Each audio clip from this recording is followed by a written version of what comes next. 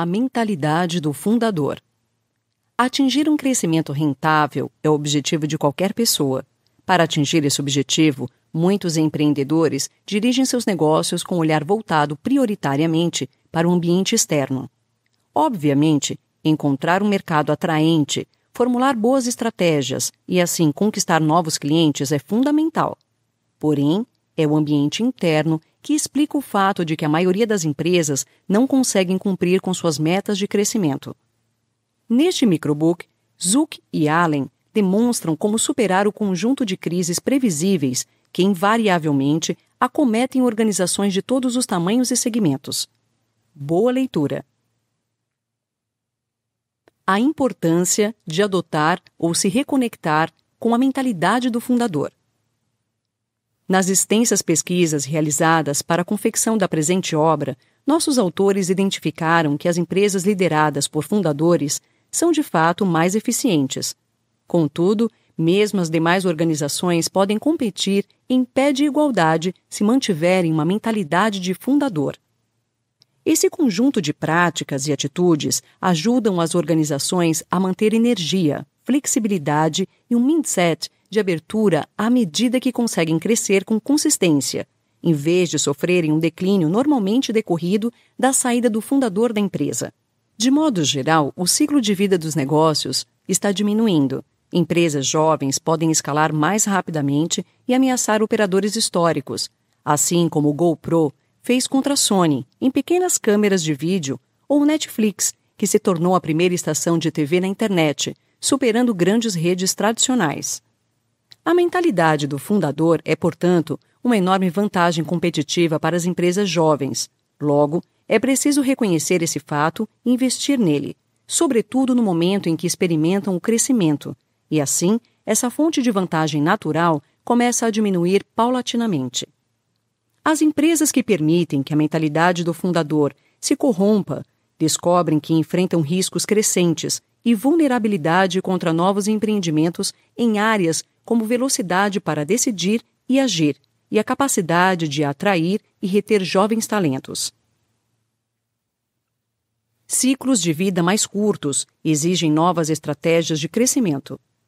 Quando a velocidade das mudanças externas é superior à velocidade das mudanças no interior das empresas, significa que o fracasso está bastante próximo. Mercados e concorrentes mais ágeis representam um grande problema para grandes organizações que encolheram estão atoladas em múltiplas complexidades, têm dificuldade em identificar sua própria situação e se encontram submersas em procedimentos burocráticos.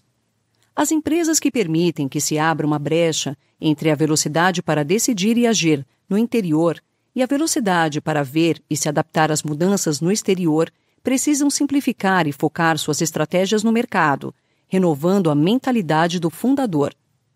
As organizações jovens estão escalando mais rápido do que nunca. Isso faz com que as empresas tradicionais corram riscos inéditos, reduzindo o ciclo de vida de muitos negócios no processo. As três crises previsíveis do crescimento. A mentalidade do fundador identifica três crises de crescimento que toda empresa enfrentará e precisará superar. Quais são elas?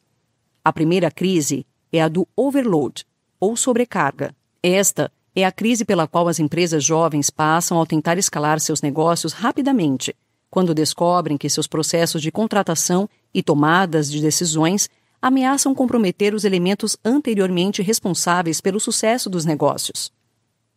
A segunda crise é a do stall out, ou desaceleração.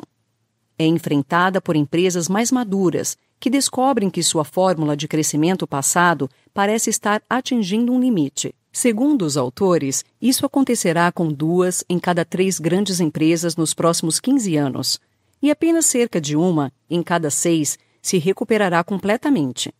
Em seu âmago, encontra-se a questão de determinar se os problemas são originados por causas externas ou internas. A terceira crise, a da queda livre ou free fall, tem lugar quando as empresas descobrem que o modelo de negócios implantado, pelo menos em parte, está se tornando obsoleto. Essas crises não são facilmente perceptíveis, entretanto, todas mostram sinais de alerta, a partir dos quais novas ações podem ser tomadas. Infelizmente, a maioria dos empreendedores não visualiza suas origens até que a crise esteja sobre eles. Como reconhecer se a sua empresa está passando por um desses três pontos de estrangulamento? Cada uma das três crises é bastante diferente, mas compartilham alguns sinais de alerta que apontam para uma redução no ritmo de crescimento. Fique atento aos seguintes pontos: maior dificuldade em atrair e reter os profissionais mais talentosos, perda de clareza na identificação do propósito único e dos aspectos que diferenciam a empresa, declínio na fidelização de clientes, novos competidores obtendo participação de mercado em seu core business, taxa de crescimento orgânico lento sem motivo aparente. Como a mentalidade de um fundador motiva e retém o talento na era dos millennials?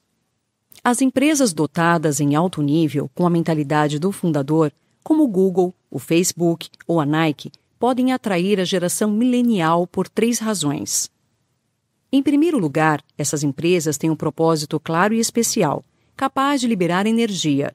Isto é, não são apenas mais um negócio. Um exemplo seria a missão do Google, de organizar todas as informações do mundo. Isso é simplesmente mais inspirador. Essas empresas tendem a ter uma distância menor entre a alta administração e os funcionários da linha de frente. Assim, os colaboradores mais jovens se sentem mais conectados à liderança e à empresa.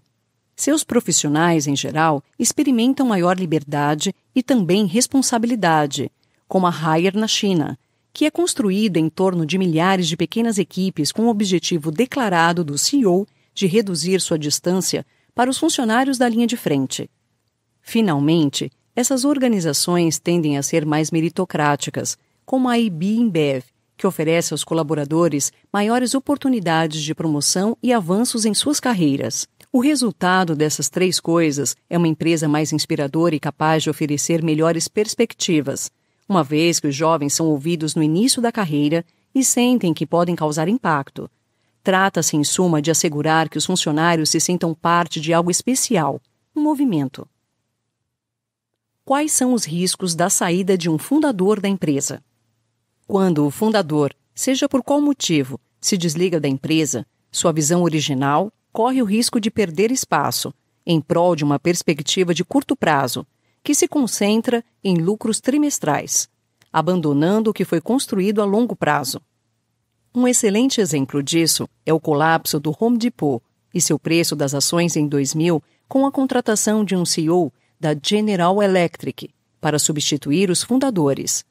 Quando esse CEO falhou, a sua substituição renovou a energia do negócio a partir do retorno dos fundadores como conselheiros. Uma segunda consequência é que a empresa começa a perder contato com o cotidiano do trabalho na linha de frente, algo pelo qual a maioria dos fundadores é obcecado e demonstra incrível curiosidade intelectual. Um exemplo é o que aconteceu na Starbucks, quando Howard Schultz partiu e a próxima equipe gestora deixou de prestar atenção aos detalhes da experiência do cliente nas lojas, ou seja, ao coração do sucesso da marca. Neste caso, o fundador, Howard Schultz, voltou para arrumar a casa. A terceira coisa que pode acontecer é que a empresa começa a se burocratizar. Os processos de decisão se tornam mais complexos do que eram com o fundador. As pessoas não se esforçam para assumir responsabilidades e assim o ritmo dos negócios diminui. O fundador possui naturalmente uma enorme autoridade moral para tomar grandes decisões, e às vezes seus substitutos não têm o mesmo senso de urgência ou oferecem os mesmos níveis de suporte organizacional.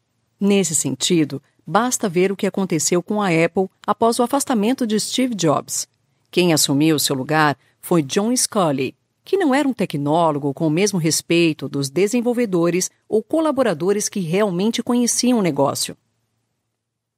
Na empresa, quem deve praticar a mentalidade do fundador?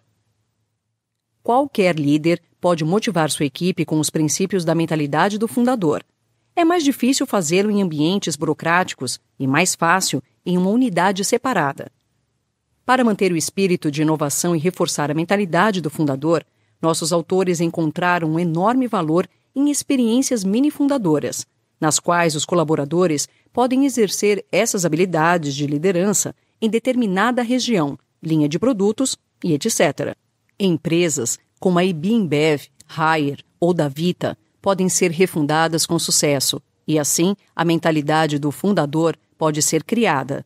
Esses aspectos da liderança podem ser aprendidos, o que torna a mentalidade do fundador tão universal e útil. O conceito de mentalidade do fundador não se refere apenas aos fundadores individuais, mas sobre as atitudes e comportamentos que são comuns a todas as organizações de sucesso que contam com quadros de colaboradores leais e engajados. Práticas como a definição de uma missão clara, de uma perspectiva de longo prazo ou a curiosidade intelectual sobre os detalhes da linha de frente podem e devem ser promovidas mesmo quando o fundador não mais está presente no cotidiano da empresa.